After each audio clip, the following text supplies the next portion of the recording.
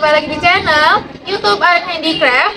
Untuk video kali ini kita mau review produk bestseller di toko kami ya.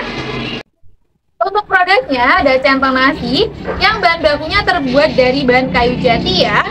Untuk ukurannya panjang 22 cm dan tebelnya setara dengan centong nasi kayu pada umumnya. Untuk finishingnya sudah menggunakan finishing food grade jadi sudah pastinya itu aman banget kalau dipakai buat bersentuhan langsung dengan makanan ya. Untuk harganya cuma di 9 ribuan aja.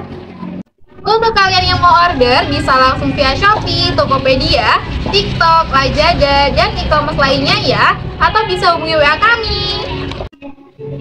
Terima kasih sudah nonton video kali ini. Sampai jumpa di video selanjutnya. See you.